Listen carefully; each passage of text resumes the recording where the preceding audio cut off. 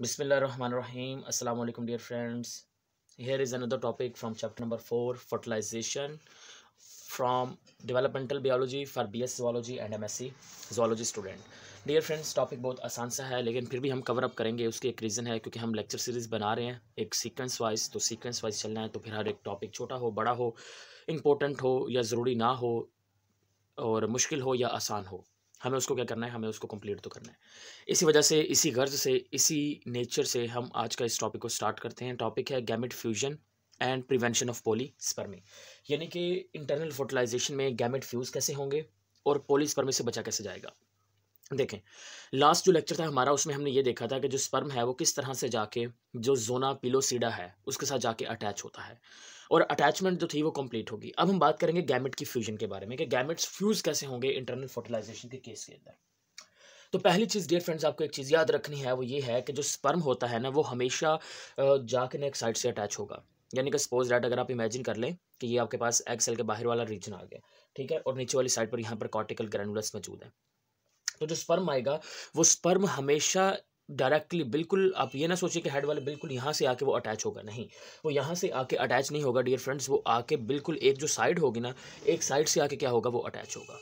कहाँ पर अटैच होगा? वो एक जो साइड होगी साइड वाले रीजन से आके क्या होगा डियर फ्रेंड्स अटैच होगा। और यहाँ पर आपको एक और चीज़ पर याद होगी कि यहाँ पर डियर फ्रेंड्स एक्रोसोमल वेजिकल्स और यानी कि न्यूक्लियस उसके हेड रीजन के अंदर यानी कि काफ़ी कुछ प्रेजेंट होता है माइटोकॉन्ड्रिया भी होता है। तो आपको एक चीज़ याद रखनी है कि जो स्पर्म आ रहा है, वो एग के साथ किस साइड से अटैच होगा, आपने कहना है side of the sperm head ठीक है? यहाँ पे लिख लेते हैं हम। पहली चीज़ side of sperm head attach किसके साथ अटैच होगी?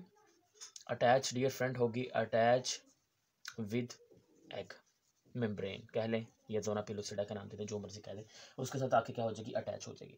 अब डियर फ्रेंड जैसे ये यहाँ पे आके अटैच होगा तो नो डाउट सेकंड स्टेप क्या होगा? अटैच होने के बाद जो एक्रोसोमल वेजिकल्स हैं, उनकी एक्सोसाइटोसिस हो जाएगी। एक्रो सोमल वेजिकल जो कि एक्रोसोम वाले रीजन में प्रेजेंट होंगी स्पम के तो वो एक्रोसोमल वेजिकल्स रिलीज़ होंगी। एक्रोसोमल वेजिकल्स के रिलीज़ होते ही हम कहेंगे एक्रोसोमल वेजिकल एक्सोसाइटोसिस हो जाएगी। और जब उनकी एक्सोसाइटोसिस होगी एक्सोसाइटोसिस के नतीजे में क्या होगा कि वो वेजिकल्स बाहर निकल आएँगी जब वेजिकल्स डियर फ्रेंड्स बाहर निकलेंगे तो फिर आप क्या कहेंगे? आप कहेंगे कि एक्रोसोमल वेजिकल रिलीज़ हो गया। उसके नतीजे में डियर फ्रेंड्स जो इनर एक्रोसोमल में ब्रेन होगी इनर एक्रोसोमल में ब्रेन का डियर फ्रेंड जो सेंटर वाला रीजन होता है ना, वहाँ पर एक जंक्शन मौजूद होता है। सपोज़ डाट कर लें कि ये वाला वो जंक्शन अब ये वाला जो जंक्शन रीजन होगा ना, इस जंक्शन रीजन को हम क्या कहते हैं? हम कहते हैं this one is known as a equatorial plane क्या नाम देते हैं? सॉरी इक्वेटोरियल प्लेन डोमेन कहेंगे। क्या काम, नाम देंगे? एक्वाटोरियल डोमेन का नाम देंगे। Equatorial domain of sperm membrane of sperm membrane का नाम दे देंगे। यानी कि बताने का मकसद ये है कि डियर फ्रेंड्स जो एग वाली साइड होगी जो एक्वाटोरियल रीजन होगा, वही अटैचमेंट पॉइंट होगा एग के साथ। तो स्पर्म में जो एग के साथ अटैचमेंट पॉइंट होगा, वो ये वाला जो सेंटर वाली साइड्स होंगे ना, यही उसके साथ क्या होंगे? अटैचमेंट पॉइंट होंगे। हम इसको नाम दे देंगे, ये वाला नाम दे देंगे। पॉइंट क्लियर है तो हम यहाँ पे लिख लेते हैं कि पहली बात स्पर्म की एक हेड वाले बिल्कुल सामने से अटैच नहीं होगा साइड से अटैच होगा। दूसरी बात एक्रोसोमल वेजिकल की एक्सोसाइटोसिस होगी। और तीसरी चीज़ हमने क्या कहा? हमने कहा कि यहाँ पर इक्वेटोरियल डोमेन होगी।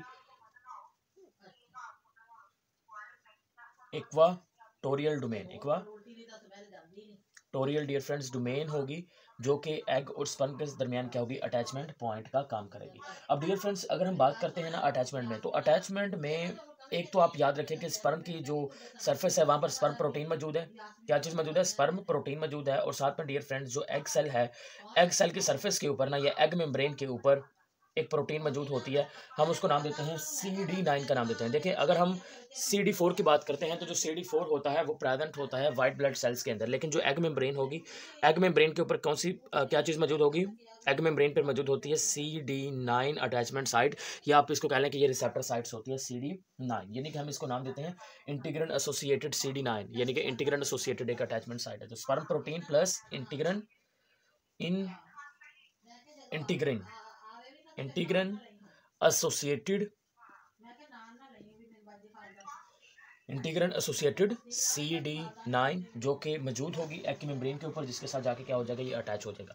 डियर फ्रेंड्स हमें किस तरह से पता चला कि एग मेम्ब्रेन के ऊपर इसका अटैचमेंट में रोल होता है, उसकी एक रीज़न है।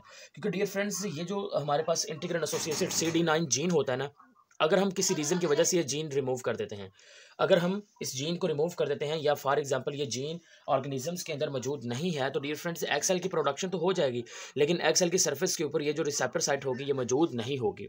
जब ये मौजूद नहीं होगी तो डियर फ्रेंड्स ये वाला सी डी नाइन यानी इंटीग्रेंट प्रोटीन भी नहीं बनेगा। जब ये बनेगा नहीं तो जो स्पन की प्रोटीन है, वो इस प्रोटीन के साथ अटैच भी नहीं हो पाएगी और हम कहेंगे जो गैमेट्स की फ्यूजन है, वो भी प्रोसीड नहीं कर पाएगी। ठीक है?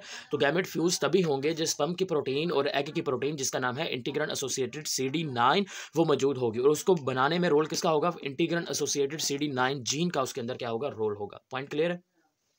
तो इस जीन का रोल होगा। अगर ये जीन होगा तो ये जीन काम करेगा। जब ये जीन काम करेगा तो फिर आप कहेंगे कि यहाँ पर डियर फ्रेंड्स ये सारा जो मैकेनिज्म है, वो प्रोसीड करेगा। पॉइंट क्लियर हो गया?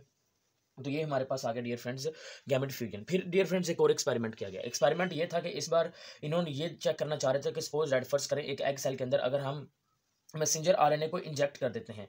मैसेंजर आरएनए वो मैसेंजर आरएनए जिसके पास जेनेटिक इन्फॉर्मेशन है, इस इंटीग्रेंट प्रोटीन की। जिसके पास क्या है, ये जो इंटीग्रेंट एसोसिएटेड प्रोटीन है, इसकी जेनेटिक इन्फॉर्मेशन है तो इसको इंजेक्ट करके देखते हैं क्या फिर ये जो मैकेनिज्म है वो पॉसिबल हो जाएगा। तो डियर फ्रेंड्स मैसेंजर आरएनए को इंजेक्ट किया मैसेंजर आरएनए ने जाके क्या किया, इस प्रोटीन को बना दिया, इस प्रोटीन प्रोटीन को ट्रांसलेट कर दिया देन स्पम की अटैचमेंट साइट होगी। तो इससे ये बात कंफर्म होगी कि वाकई में गैमेट फ्यूजन में एक तो स्पम की प्रोटीन दूसरा यानी कि इक्वेटोरियल डोमेन और तीसरी चीज़ इस प्रोटीन का क्या होगा बेसिक रोल यहाँ पर होता है। अब डियर फ्रेंड्स अगर हम मैमल्स की बात करते हैं ना तो मैमल्स के अंदर हमने एक और प्रोटीन को देखा डिस्कस किया स्टडी किया। उसका नाम था इज्यूमो आईज्यूमो आई ज्यूमो था उसका नाम आईज्यूमो प्रोटीन अब डियर फ्रेंड्स ये जो आईज्यूमो प्रोटीन होती है आपने कहना है कि ये जो प्रोटीन है, ये असल में एक असेंशियल कंपोनेंट है स्पर्म की फ्यूजन का एग सेल के साथ असेंशियल कंपोनेंट होता है। अगर आप ह्यूमन के स्पर्म की बात करते हैं। अगर आप ह्यूमन के स्पम के डियर फ्रेंड्स बात करें, क्योंकि अभी तक तो हम मैमल्स की बात कर रहे थे, जिसमें मोस्टली ज़िक्र आया था माइस का।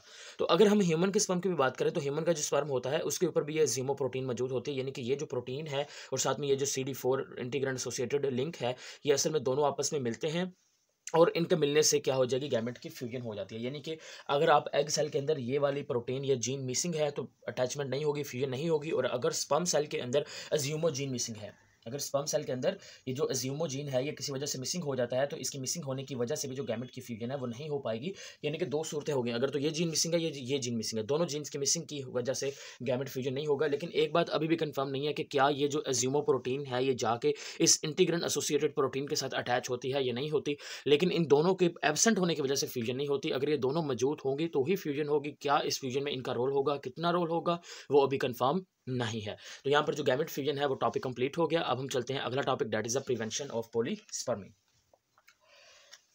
या ब्लॉक टू पोलिस्पर्मी तो डियर फ्रेंड्स अगर हम पोलिस्पर्मी की बात करते हैं तो हम कहते हैं कि जब एक से ज़्यादा जो स्पम है स्पम है, वो जाके जब डियर फ्रेंड्स फर्टिलाइज कर देंगे तो हम उसको क्या नाम देते हैं? हम कहते हैं this one is known as a polyspermy का नाम दे देते हैं। तो डियर फ्रेंड्स आपको यहाँ पर एक चीज़ याद रखनी है, वो ये है कि देखें अगर तो एक्सटर्नल फर्टिलाइजेशन की बात की थी तो हमने कहा था कि पोलिसपर्मी से बचने के लिए हमने एक बड़ा लंबा चौड़ा मैकेनिज्म पढ़ा था। हमने कहा था कि उसमें दो ब्लॉक होते हैं, एक होगा फास्ट ब्लॉक दूसरा होता है स्लो ब्लॉक तो आपने जब इंटरनल फर्टिलाइजेशन पढ़ना है तो आपने कहना है कि इंटरनल फर्टिलाइजेशन के अंदर जो फास्ट ब्लॉक होता है, उसकी ज़रूरत नहीं होती फास्ट ब्लॉक इज़ एबसेंट अब इसकी वजह क्या होती है? इसकी वजह ये होती है कि सपोज़ डेट डियर फ्रेंड्स अगर हम बात करते हैं ना एक्सटर्नल फर्टिलाइजेशन की तो एक्सटर्नल फर्टिलाइजेशन में जब एक स्पम सेल ने एग सेल को फ्यूज़ कर दिया है, उनकी फ्यूजन के बाद हो सकता है कि वो जो एक्सटर्नल मीडियम है, उसमें और ज़्यादा स्पम सेल्स मौजूद हों, जो कि बाक, जो कि जाके उसी एक्सेल सेल को दोबारा से फ्यूज़ यानी कि उसके साथ मिल सकते हैं।